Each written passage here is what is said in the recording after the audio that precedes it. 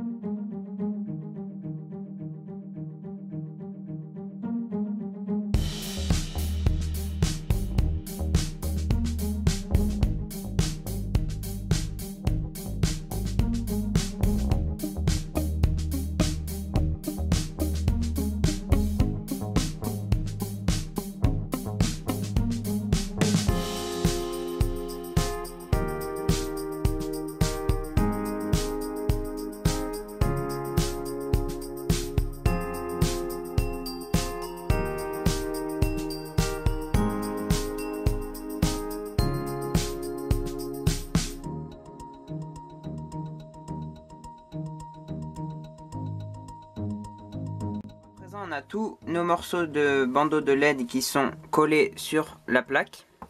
Donc faut bien faire attention que tous les plus soient dans le même sens et que tous les moins soient dans le même sens. Alors c'est à dire qu'il faut que tous les moins par exemple ils soient en bas, tous les ronds moins il faut qu'ils soient en bas et tous les ronds plus en haut ou inversement. Ce qu'on va faire c'est que là on va souder tous les moins de ce côté, on va les souder entre eux comme ça. Donc faut bien faire attention de relier bien que les moins. Faut pas relier les plus ou moins, sinon ça va faire un court-circuit et ça va pas fonctionner.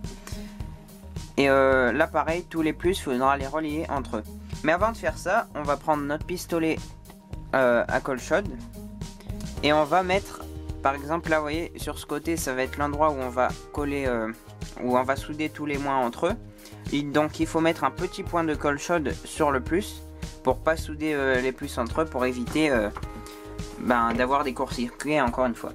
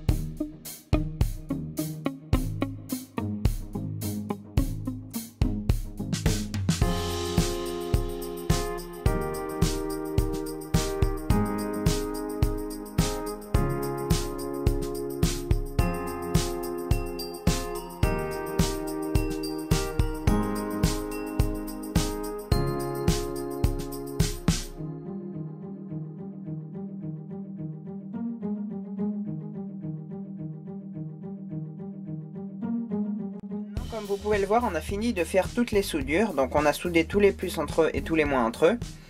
Alors donc maintenant on va pouvoir tester avec une alimentation de 12 volts pour vérifier que tout fonctionne bien. Et voilà. Donc là on voit que tous les, tous les bandeaux marchent.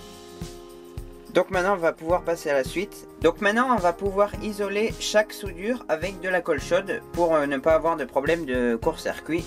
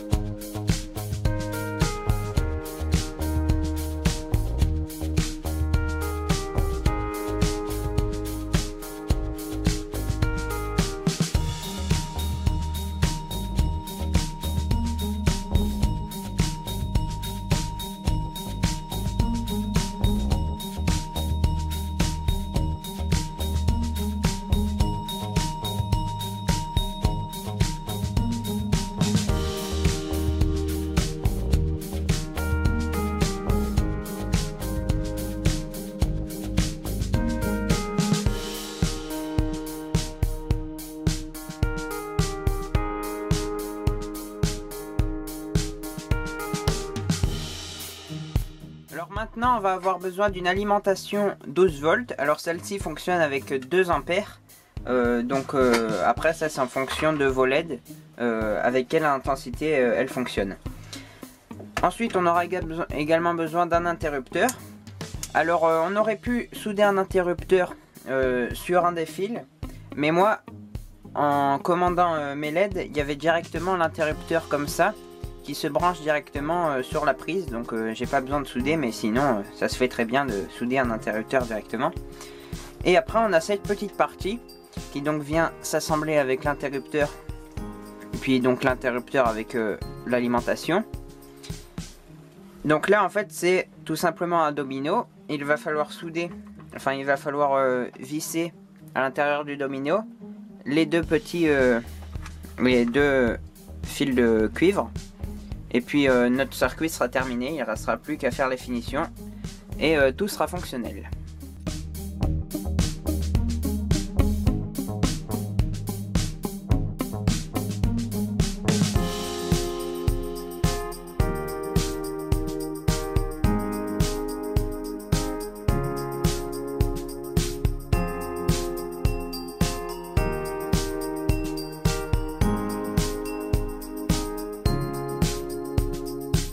Donc on a fini de relier les fils au domino.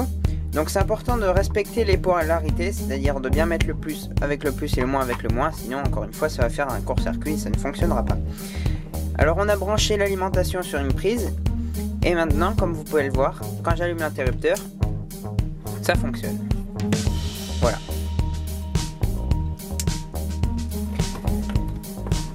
Donc euh, à présent on va pouvoir faire les finitions, alors c'est-à-dire coller... Euh, euh, toutes, euh, enfin là les deux soudures faut les coller et puis on va coller, ça et bien immobiliser tout, enfin bien plaquer le tout contre euh, le panneau et puis ce sera terminé.